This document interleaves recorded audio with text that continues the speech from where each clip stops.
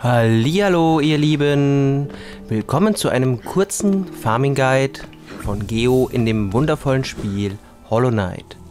Hier an der Wegkreuzung, das ist wahrscheinlich vielen bekannt, kann man im Early Game wunderbar Geo farmen.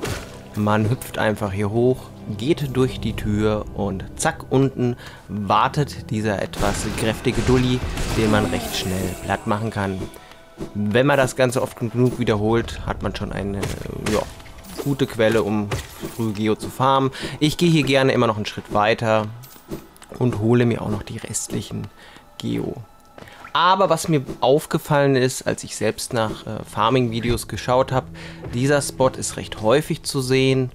Ähm, der verschwindet aber zum Beispiel, wenn man später, äh, wenn die Welt infiziert ist. Es gibt natürlich daher noch eine zweite Location, die mir gar nicht so häufig bisher über den Weg gelaufen ist. Daher zeige ich euch jetzt hier, an welcher Location es ist. Einen kleinen Moment. Zack, zack, hier ist die Karte, Stadt der Tränen. Von der Bank ist ein bisschen anspruchsvoller, aber eigentlich macht es auch ein bisschen mehr Spaß, ist mehr etwas mehr Abwechslung.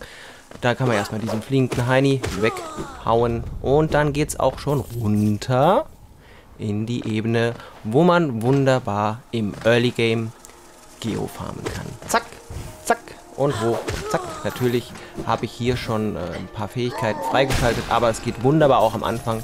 Ich habe tatsächlich diese Stelle schon eher benutzt, bevor ich die ähm, erst gezeigte Stelle genutzt habe.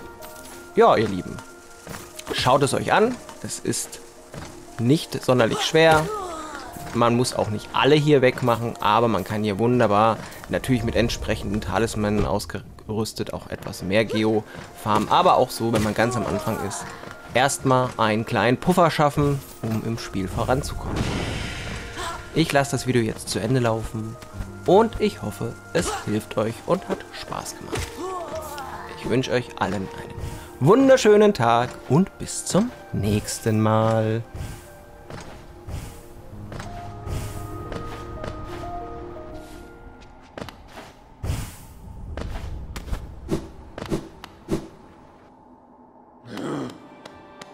Thank